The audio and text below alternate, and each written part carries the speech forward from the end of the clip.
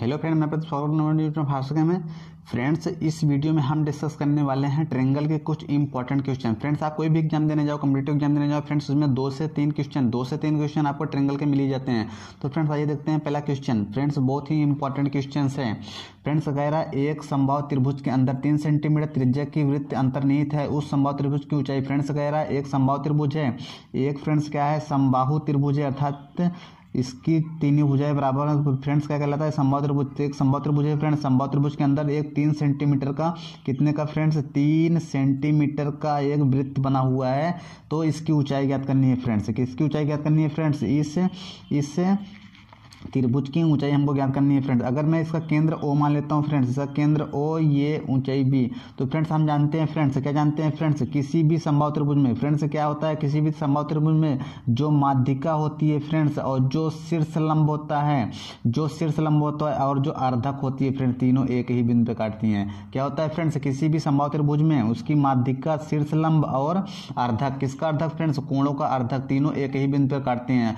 Friends हम ये भी जानते हैं, जो माध्यिकाएँ होती है, जो माध्यिकाएँ होती है, वो एक दूसरे को दो अनुपात एक अनुपात में विभाजित करती हैं। तो फ्रेंड्स इसी को हम फॉलो करके इस आंसर इसका आंसर पता लगाएँगे। फ्रेंड्स हम इसको जैसे ही मिलाएँगे तो ये क्या हो जाएगा? इसमें मिल जाएगा। तो फ्रेंड्स ये माध्यिका भी होगी, अर्धक भी होगा, अर्थात इसका अर्धक होगा तो फ्रेंड्स जो माध्यिकाएँ होती हैं, वो एक दूसरे कितने दो अनुपात, एक अनुपात में विभाजित करते हैं, ये आपको पता होगा फ्रेंड्स तो फ्रेंड्स इसका ओ ए का मान हमको नहीं पता है बट ओ भी हमको तीन सेंटीमीटर पता है। ओ भी हमको तीन सेंटीमीटर पता है फ्रेंड्स इस तरह से हमारा ए ओ का मान आ जाएगा फ्रेंड्स ए ओ का मान आ जाएगा छः सेंटीमीटर अर्थात इसकी ऊंचाई टोटल हो जाएगी ए बी ए बी का मान कितना है फ्रेंड्स नौ सेंटीमीटर छः आया है ओ ए और ओ बी ये नौ सेंटीमीटर फ्रेंड्स इसका आंसर हो जाएगा।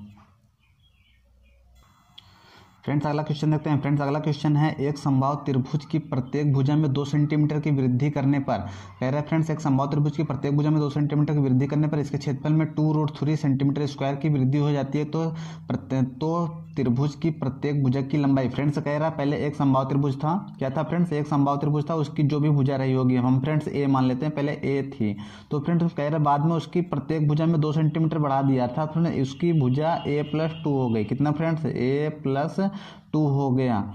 तो कह रहा है, फ्रेंड्स, उसके क्षेत्रफल में जो वृद्धि हुई, अर्थात फ्रेंड्स, इतना क्षेत्रफल और इतना क्षेत्रफल, जो इसका अंतर है, फ्रेंड्स, इन दोनों का जो क्षेत्रफल का अंतर है, वो है कितना, friends, two root three centimetre square की वृद्धि हो गई। तो फ्रेंड्स, अगर मैं इस इस त्रिभुज का क्षेत्रफल निकालू तो कितना हो जाएगा, friends, root three by four into भुजा का स्क्वायर। क्या होता है, फ्रेंड्स, किसी भी संभव त्रिभुज का क्षेत्रफल जो होता है, friends, root three by root three by four into भुजा का स्क्वायर होता है। तो फ्रेंड्स, इसकी उसी प्रकार इसका क्षेत्रफल हो जाएगा, root three by four A plus two का स्क्वायर। फ्रेंड्स, अगर मैं इन दोनों का अंतर ले लूँ तो वो two root three square centimetre square के बराबर होगा। तो फ्रेंड, इसका अंतर हम ले लेते हैं root three by four A plus two का स्क्वायर माइनस में रूट थ्री बाई फोर गुड़ता ए का स्क्वायर। फ्रेंड्स, कितना आ जाएगा? To root three. फ्रेंड्स, यहाँ से रूट थ्री बाई फोर हम कॉमन लेंगे तो यहाँ फ्रेंड बच जाएगा ए प्लस टू का स्क्वायर माइनस में ए स्क्वायर। फ्रेंड्स, ये हमको दिख रहा है। क्या फ्रेंड्स, दिख रहा है? फ्रेंड्स, ये हमको दिख रहा है A square minus B square एक कोस्ट में ए प्लस बी एक कोस्ट में ए माइनस बी फ्रेंड्स आप जानते हैं, जब से फ्रेंड एक कोस्ट में ए माइनस बी होगा तो ए ए कट जाएगा, अर्थात एक कोस्ट में दो बचेगा. जब प्लस आएगा तो टू ए प्लस टू हो जाएगा. फ्रेंड्स तो ये आ जाएगा रूट थ्री बाई फोर एक कोस्ट में टू और एक कोस्ट में बचेगा टू ए प्लस टू बराबर friends two root three friends ये ये कट गया, टू से टू कट गया। इधर एक बचा फ्रेंड्स ये चार इधर जाएगा। चार इधर जाएगा फ्रेंड्स इस चार में से ये दो इधर जाएगा घट जाएगा फ्रेंड्स अर्थात दो बचेगा ए बराबर फ्रेंड्स दो बटे दो, ए बराबर आ जाएगा दो बटे दो, अर्थात एक सेंटीमीटर कितने सेंटीमीटर फ्रेंड्स पहले उस त्रिभुज का जो क्षेत्रफल जो भुजा थी फ्रेंड्स वो कितने थी? एक सेंटीमीटर रही होगी।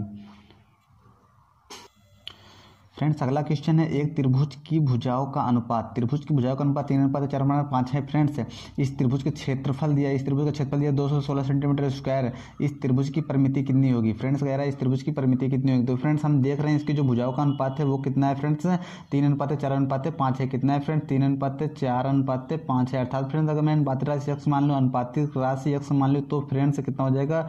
तीन एक्स चार एक्स और पाँच एक्स हो जाएगा। फ्रेंड्स हम देख रहे हैं, पाँच का स्क्वायर करेंगे तो पच्चीस आएगा और दोनों का स्क्वायर करके जोड़ेंगे तो भी पच्चीस आएगा। अर्थात फ्रेंड्स ये जो त्रिभुज है, एक समबाहु, समकोण त्रिभुज है। कैसा त्रिभुज? समकोण त्रिभुज है। फ्रेंड्स समकोण त्रिभुज ऐसा त्रिभुज होता है जिसका एक कोण 90 डिग्री का होता है। समकोण त्रिभुज का क्षेत्रफल होता है फ्रेंड्स समकोण त्रिभुज का क्षेत्रफल होता है एक बटे दो, आधार गुड़ते ऊंचाई। तो फ्रेंड्स आधार गुड़ते ऊंचाई, आधार गुड़ता ऊंचाई जो होती है, ये समकोण त्रिभुज का क्षेत्रफल होता है। फ्रेंड्स जो यहाँ पर आ जाएगा, ऊंचाई उसका हो जाएगा फोर एक्स और आधार इसका हो जाएगा फ्रेंड्स तीन एक्स बराबर हमको दिया है दो सौ सोलह तो फ्रेंड्स ये इसको काटेगा और ये हो जाएगा सिक्स एक्स स्क्वायर बराबर दो सौ सोलह फ्रेंड्स जब इसको हम सॉल्व करेंगे तो एक्स स्क्वायर बराबर आ जाएगा छत्तीस।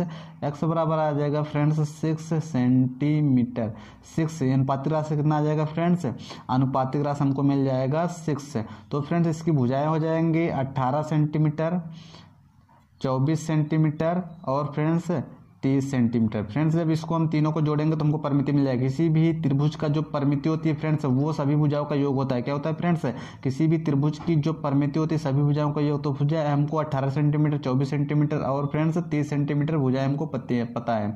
तो इन दो, इन सबको हम जोड़ेंगे तो हमको क्या मिल जाएगा फ्रेंड्स इसकी परमिति मिल जाएगी। इसको जोड़ेंगे तो फ्रेंड्स हमको देख रहे आठ चार बारह का तो वहाँ से ले एक फ्रेंड्स है। चार दो छः सात, कितना? बहत्तर सेंटीमीटर इसका परमिति आ जाएगी। कितना फ्रेंड्स बहत्तर सेंटीमीटर इसकी परमिति आ जाएगी। फ्रेंड्स वीडियो पसंद आए तो शेयर लाइक ज़रूर करिए। Thank you friends